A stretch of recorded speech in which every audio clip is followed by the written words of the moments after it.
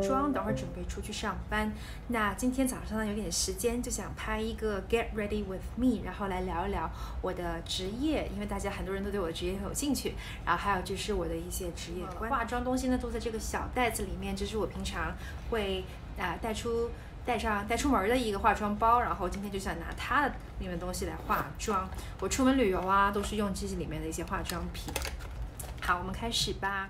就是在香港做老师的，然后是做英语老师。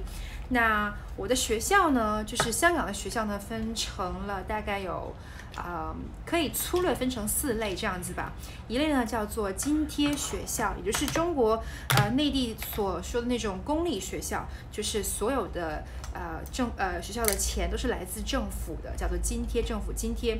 第二类呢是直资学校，直资学校呢就是政府给津贴，除此之外呢，学生还要交学费。像津贴学校的话呢，就是除了学生交书本费之外呢，就不需要再交学费了嘛。然后直资的话就是要学生要收学费的，所以呢，通常在直资学校的学生呢，通常而言呢，他们的家庭情况会比较好，因为直资学校每个月的学费可能都是在啊便宜的就几百吧，然后贵的话可能就是几千四五千每个月的学费这样子。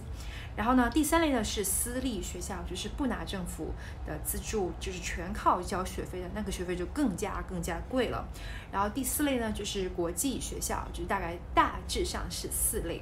那我自己呢就曾经在啊直资学校和津贴学校都做过，就是我见过一些家庭条件比较普通的学生，我也见过家庭条件非常非常好的学生，好到成什么程度呢？就是我听。他们聊天就说哦，你暑假去哪里玩呢？啊，说哦，我去哪里哪里玩，我是一个欧洲某国家玩。他说哦，那你订了机票吗？他说哦，没有，我家里是开飞机的，就是他家里有一个私人飞机，可以带他去 直接去欧洲去玩。所以我什么样的学生都见过。然后呃，学校的生活就是作为老师而言的生活也是非常的丰富多彩，因为可能有时候要有一些大场合要去呃。出席啊，或者是去负责筹划一些活动啊，这种反正就是生活还蛮丰富多彩的。我自己呢是教英语的，然后但是在香港来讲的话，通常教英语之外呢，还要教一些跟英语相关的一些学科。那香港学校我之前也讲过，就分成了 CMI Chinese as the medium of of instruction，就是中文教学语言教学的学校，和 EMI English as the medium of instruction。那我之前的学校，我曾经在三所学校工作过，都是 EMI 学校的。有时候我在教一些，比如说我在分享一些英文的教学视频，我会。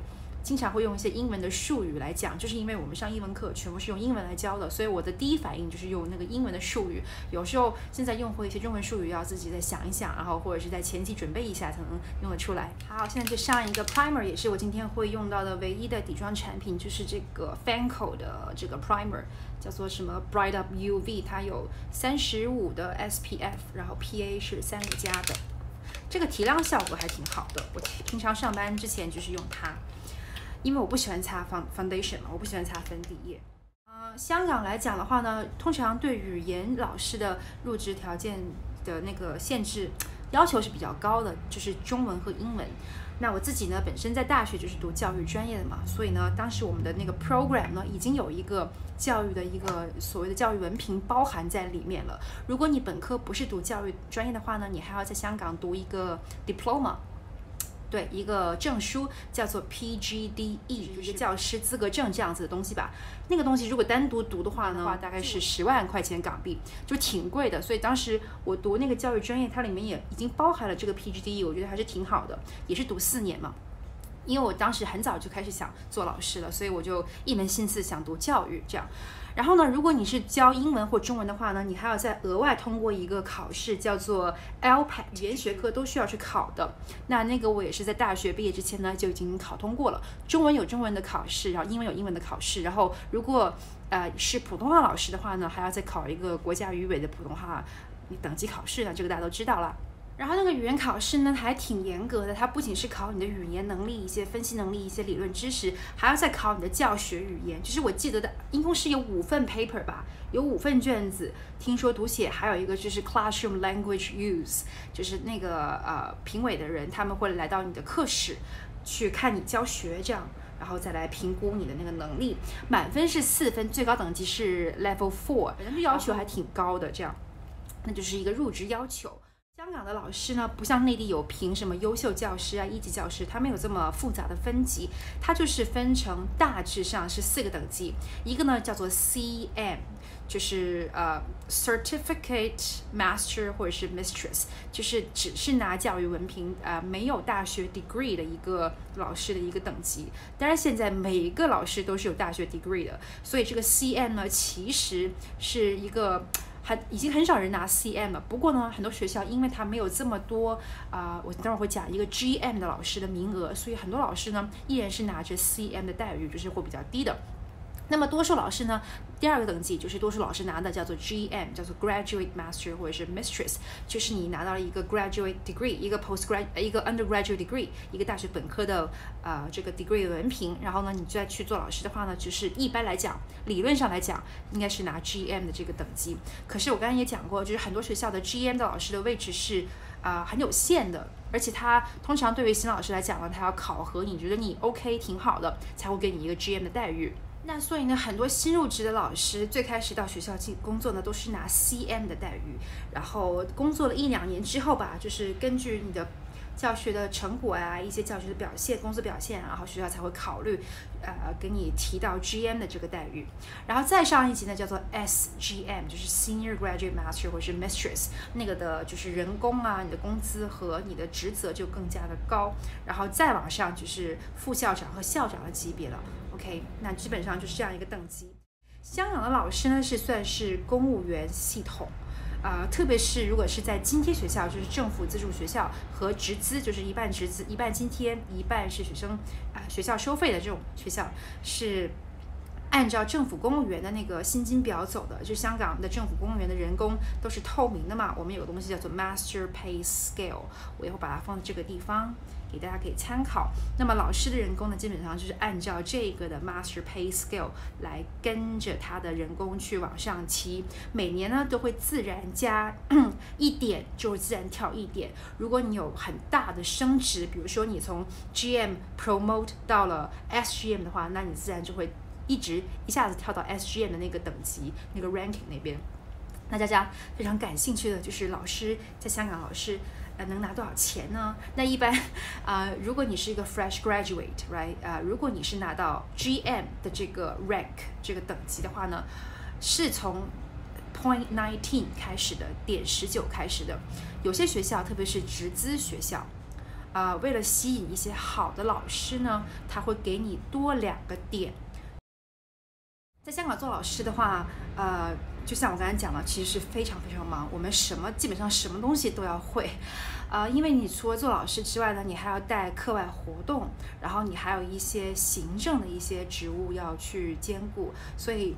啊，整天下来是基本上是马不停蹄的，就中间我是完全没有时间去用手机啊，或者是啊去聊天啊什么之类的，每天都非常忙。那香港的老师平均的课时呢，一周大概是有，嗯，我忘记化妆了，我现在擦一个 遮瑕，就是 Tom Ford。香港老师平均呢一周来讲的话呢是有。二十二到二十八堂课，一堂课的时间呢是三十五分钟到四十分钟不等。那你可以算一算，其实是比内地的老师的上课时间多很多，真的是多很多。然后 class size 一般来讲的话呢，一般的学生人数是在三十人左右，就是在普通的公立学校或者是直资学校而言，三十人左右。当然，你要说私立或国际的话，可能人数会更加的低。那除了教教那个英文和英国文学和那些其他的一些社会人文科学科目之外呢，我还带了很多课外活动，例如我自己带的是英国的呃英文的英语辩论队，还有就是一些演讲的一些活动这样子，然后另外还有一些杂七杂八的一些小活动，都是我自己。啊，去带去负责的。那除此之外呢，在那个行政那方面呢，我是负责升学的嘛，就是帮学生处理一些他们转学啊，或者是考大学啊，比如说申请啊中国内地啊，申请嗯台湾这种，或者是在中中学的时候阶段，他们想转学到英国、美国、澳洲。都是要我自己去处理的，所以你可以想象，就是在教学之外，还要再处理一些课外活动和一些行政职务，其实真的是很忙、很忙、很忙。的。就是 official 的 working days，一年当中是一百九十天，然后其他就是放暑假呀、放这个 Easter 啊，然后 Christmas 啊，农历新年啊这样的假期。放假的时候呢，也有很多事情要做。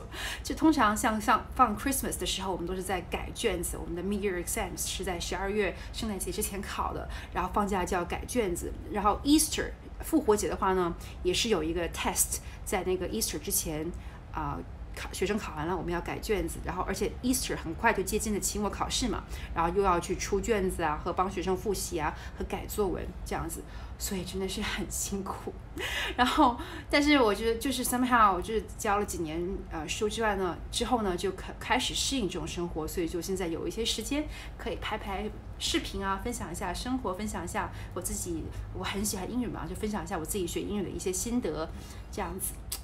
那然后香港学校除了分成我刚刚讲那四类之外呢，还有一个就是它还是保留了以前的呃 single sex school，就是有分男校、女校，然后还有男女混合学校。那我自己呢，三种学校都教过。我第一间学校就是一间男校，第二间是一间男女混合，然后第三间就是一间女校。其实真的还蛮不同的，就是在每种 种类学校教书的感觉感受是不一样的。啊，这个。我以后再分析吧，但是主要来讲的话，就是你要非常的去懂得那个 gender 那个性别的学生他的一些特点，像是男生的话，你可以跟他讲话比较直接，然后可以批评的比较直接，他也不会怎么样介意他啊。反而你要是很模棱两可跟他讲，他未必能懂你在讲什么。然后男女学校的话呢，就有一些嗯，you know puppy love 那种情况。然后老师的话也要就是 sensitive 一点。然后女校的话呢，就是女生也是心思很细腻的嘛。然后也是要注意一下他们的一些小情绪啊，然后有时候对，就是有一些小问题啊什么的。但是女校总体来讲，我自己感觉我是比较喜欢在女校工作的，因为就是可以跟学生的关系比较好，而且你们有时候谈的上课我会做一些比喻嘛，然后做那些比喻他们都 get 到。像我在男校教书的时候，我有时候用一些比喻，比如说我讲到了这个 Cinderella 的故事，他们是不知道的，就是他们理解 relate to 不了，就是无法 associate。呃，with the story，right，或者是讲一些女生 shopping 的这种 behavior，他们也是理解不了的。反而在男校，一些男老师跟男生讲到一些足球啊、篮球，他们就特别过瘾，就是很像兄弟那种感觉。现在我用这个香缇卡的粉饼定个妆，这个我超级超级爱，我已经用了，这是第三还是第四第四盒了。那我现在讲一下我们的工作时间。我们一般呢，上班时间就是老师来讲的话，是早上七点五十分之前到学校要拍卡。然后学生的话呢，就是八点钟之前到学校拍卡。不过这个每个学校的具体时间都是有点点不一样的，可是大致就是差不多八点钟左右这样子吧。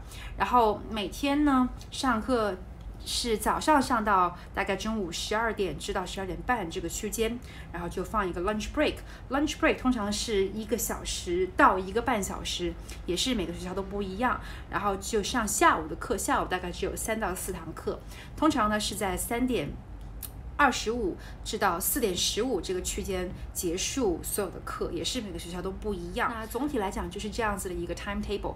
跟内地不同的是呢，我们中午是没有午休的时间的，所以有时候真的很困很困。不过其实我现在已经习惯了，就是因为中午其实也很忙，很多时候在你吃饭的时间，你要学生又来找你嘛，问问题啊，或者是帮他们补习啊，或者是补考啊、补测啊这种之类的，反正就是非常的忙。而且有时候课外活动也会在中午举行，开会什么的，所以就特别特别充。充实一天下来，好，现在呢就擦一个腮红，就是用我之前有讲过了这个 I m e m 一个韩国的一个彩妆牌子，I am m e m 这个的颜色，它是分成两层的，眼影一层，下面是腮红，这个颜色我很喜欢，它的色号是零零三。那在香港做老师的晋升空间是怎么样的呢？就是它不是凭什么一级教师、特级教师的嘛，所以呢，通常就是 GM、SGM，大多数老师都是在这两个 rank 之间就会徘徊。那呃，GM 呢，我刚才是讲每年会，就是无论什么老师，每年都会升一点嘛。不过呢，它是有个 bar 的，就是有一个 cap，有个顶点的。GM 的话，如果你升到某个点，我忘记是三十多点吧，三十二还是三十三点，它就会停了。除非你跳升职升到 SGM 的话，否则你就永远是拿那个人工。然后每年当然了会按照通胀，政府会有一个通胀率嘛，就只会加那一个，然后之后人工就不会再有什么实实质性的增长了。呃，升职的途径呢，要么你就是做你。的 department head，就是作为科组长，英文的科组长啊，中文啊，数学的科组长；要么呢，你是走那种行政路线，就是通过一些 functional post 来去升职。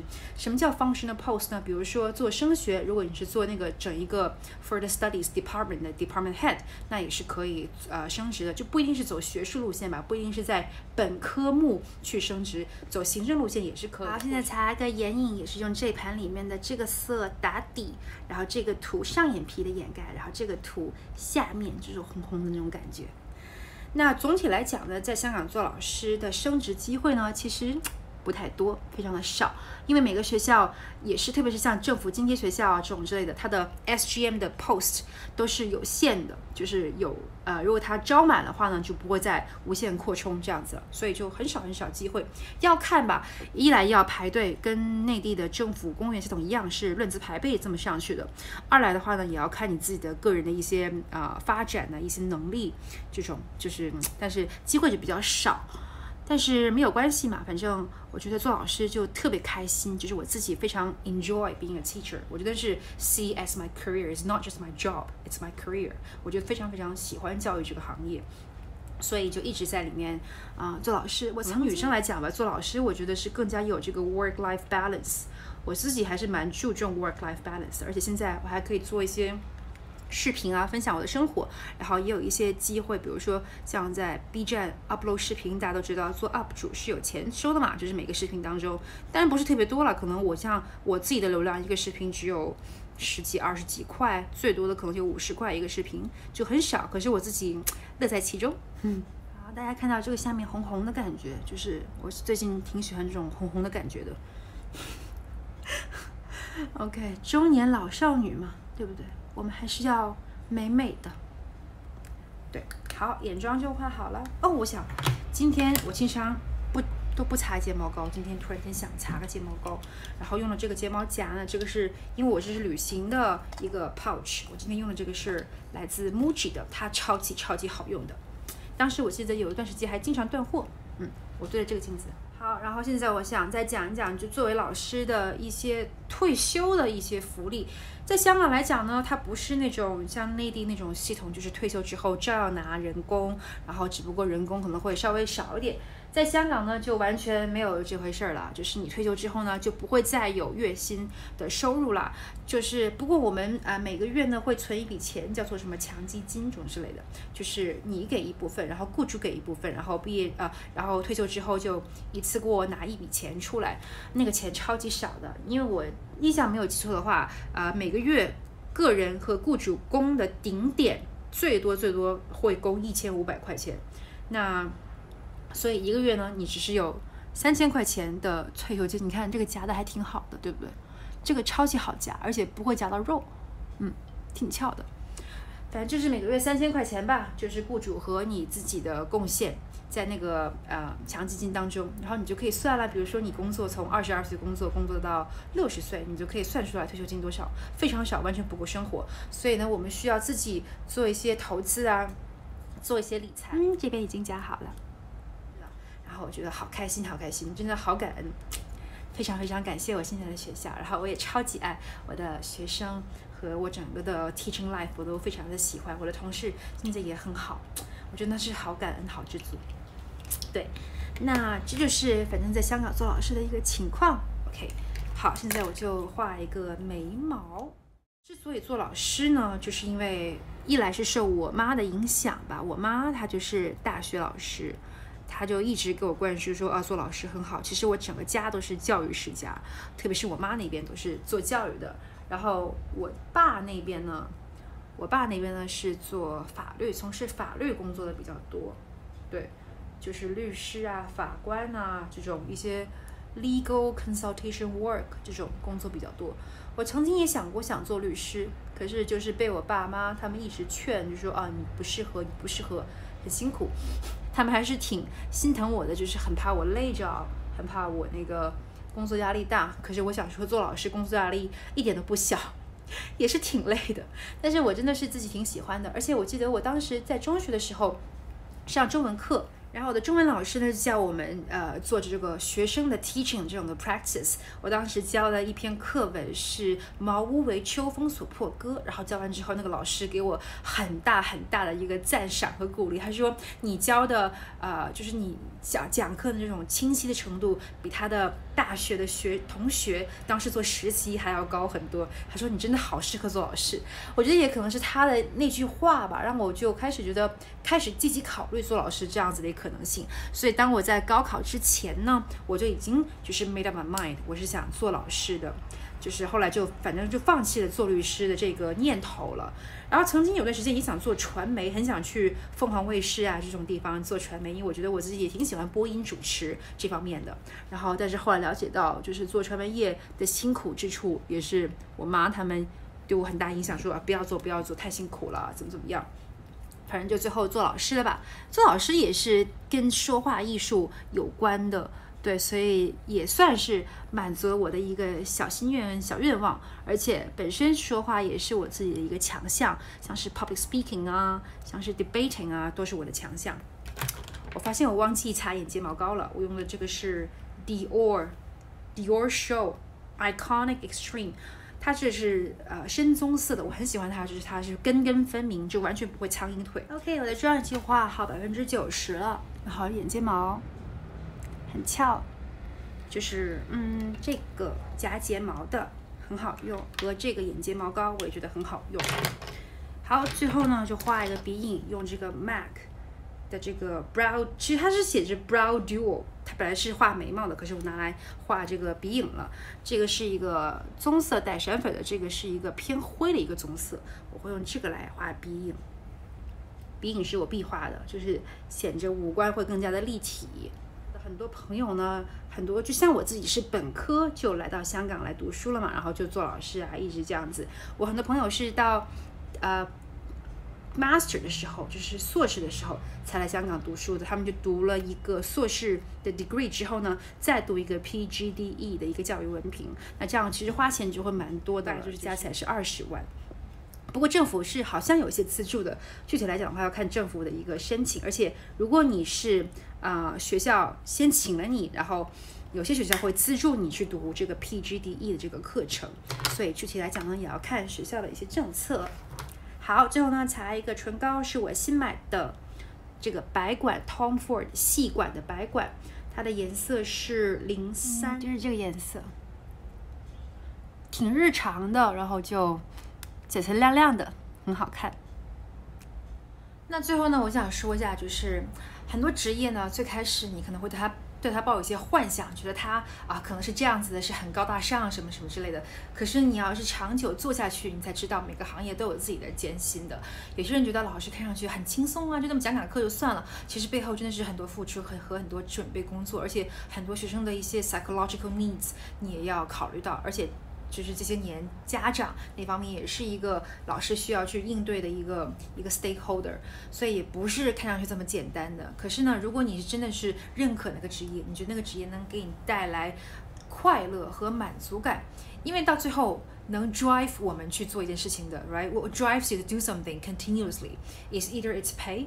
要么就是很高人工，你可以忽略到你的艰辛；要么就是那份职业带给你的满足感和幸福感。我觉得做老师 definitely 能让我持续做下去的动力，一定是幸福感和满足感。那就是今天的分享啦，希望大家会喜欢。OK，好了，我现在准备出门去上班啦。今天下午要去开会，上午的话就不用上。明天他们就要考试了，我希望我所有的学生都可以。